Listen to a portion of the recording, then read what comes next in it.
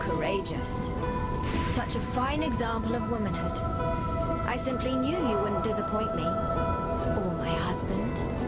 You see, His Majesty could never be satiated on his wedding day by one bride alone. Thank you, my new sister. I shall always treasure your company.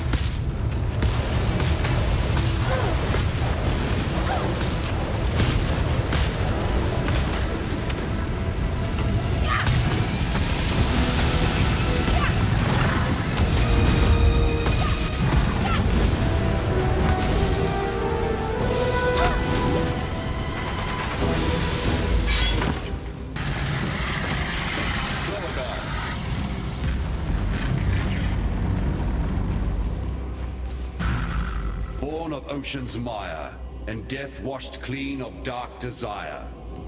And thus the Lord of Salt and Scale sinks to feed the fishes that flit amongst the ruins of Soartha. Come and jest of his divine juices while they are all washed away.